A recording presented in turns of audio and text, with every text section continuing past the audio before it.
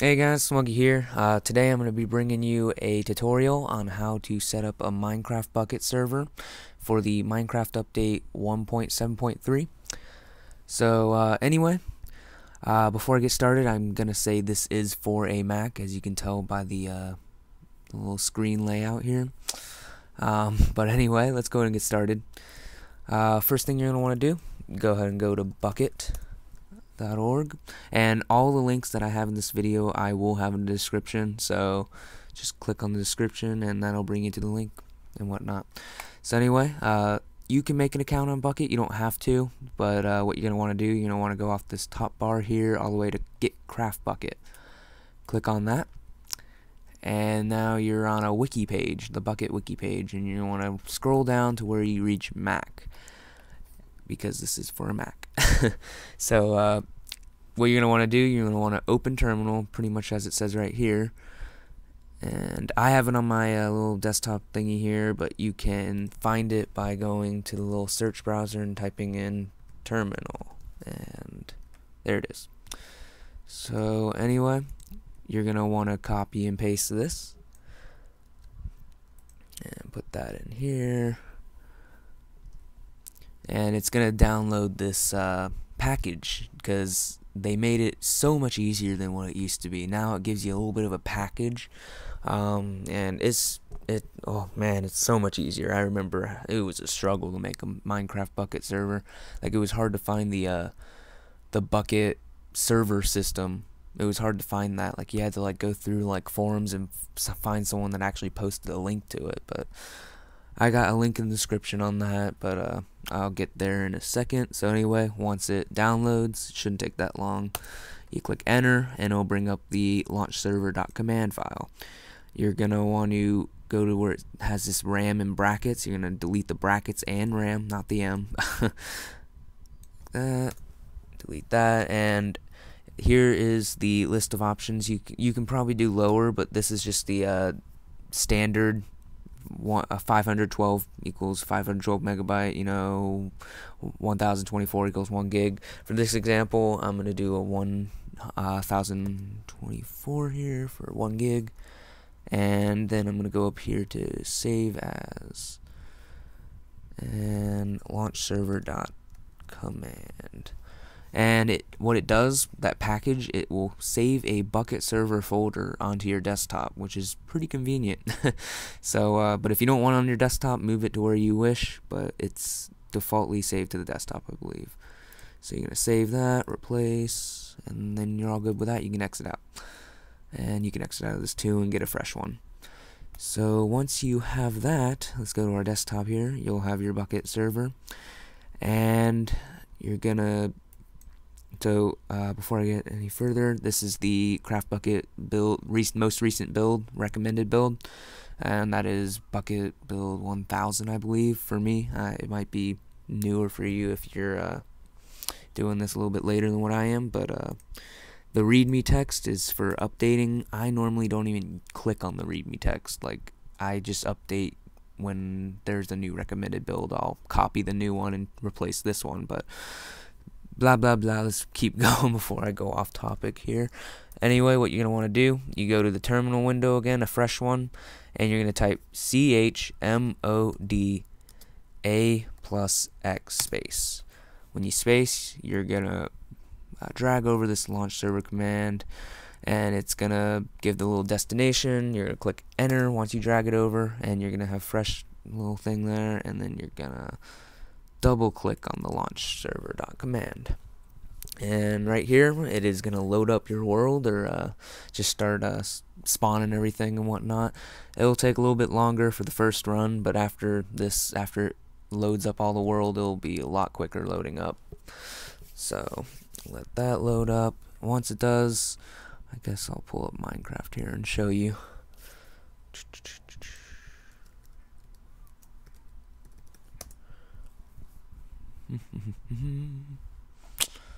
Alright. So what you're going to want to do, you're going to want to type localhost and you should be able to log on to your server. I kind of beat it. There we go. Alright. Now, right now, only you can join your server. Only you can join on this server right now. Um, okay, and it's not loading my blocks. That's a little weird. There we go. Um, so anyway, here's your little world or whatever. Uh, I don't know why mine's taking so long to load, but uh, that's beyond besides me. I don't know. so anyway, uh, out of that. That's just showing you the world and whatnot. So your world is now created. Uh, you have now gotten lots more uh, little files and whatnot. You got band IPs, band players. I don't know what that is. like some of this stuff is new from when I made it, so I don't know what this is. Uh, permissions is a plugin, and I can do a tutorial on that later. Um, ops text, that's a little important. You might as well just do this now. Type in your username, uh, make you make yourself an op, because I mean you might as well, and you get full, almost full control over your server right there. So save that, get rid of that, and now let's go ahead and uh, get the next thing, which is port map. Port map is pretty much the Mac version of port forwarding. So, okay, don't do that. um, you're going to want to Google search it. I'll have it in the description, the link. It's going to be uh, Coding Monkeys. You want to go down to where it says for land landlubbers, and you're going to download the application. And I don't need that, so I'm just going to get rid of because I already have it right there. So, let's see. Once you have that, you're gonna pull out port map. Uh, I don't need it anymore. I don't have a. I don't run the server off my host anymore. But uh, once you uh, pull that up, you will now and it. You're gonna want ah okay. Before I guess I'm going way ahead of myself here. You're gonna want to click the plus sign on it.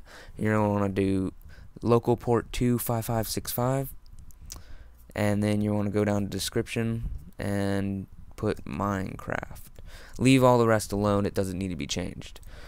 Alright, it's going to make this, uh, because I have that, it's going to, yeah.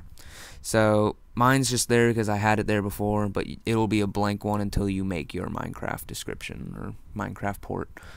So, uh, then, once you do that, you're going to want to leave that open when you're running your server, because that's what allows people to join in.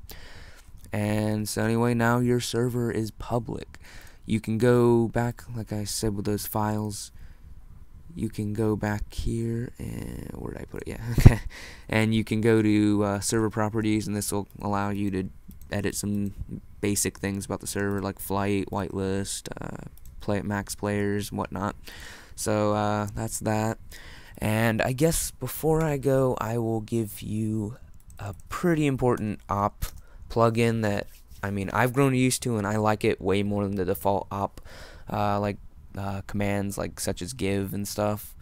Um, so what you're gonna want to do, you're gonna want to go to ScrapBukkit and gonna want to download the one with the green star, the latest one with the green star, because that's the one with the green star is the recommended build. So that's number 116 for me, and as you can see, Minecraft 1.7.3. You're gonna want to download that and go to downloads. There it is. And I'm gonna you can just simplify this by just deleting this part right here and just leaving Bukkit scrap jar because might as well. It's easier and less clustered and whatnot. Um, go ahead and drag that to Bukkit server and then into the plugins folder. This is where all your plugins will go and that's pretty much like a modded folder that'll allow you to activate those things. So whenever you get a plugin, plugin folder. Easy as that. So now you have your Bukkit scrap commands. So let's go ahead and reload the server here. And it I should now be an op as well because I added myself to that text. So once it loads, let's see. Am I opt? Let's go time night. Oh, yes. Hold on. You can also, and the ops text for some reason just is sometimes unreliable. Just type op your name into the uh, console there, and boom, you're opt. So now let's try time night. Boom, night, and you can do give. Um, item number TNT 4664 slow. Oh, I have TNT. Oh no. so uh, oh yeah, because of the update you can't blow it up.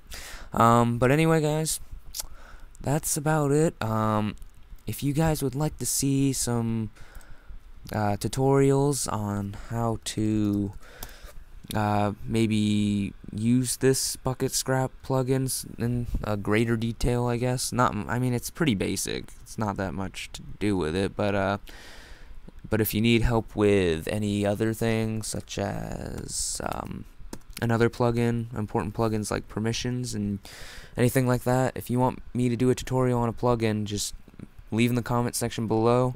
I will do one. Um, hopefully, if I know the plugin well enough. So uh, anyway, guys, thank you for watching. If this helped you, um, give it a thumbs up, favorite, um, and even subscribe if you like this. And uh, if you have any other questions that I didn't answer in this video, leave a comment. I'll try my best to respond to you as soon as possible. Anyways, thanks for watching, and I'll see you later.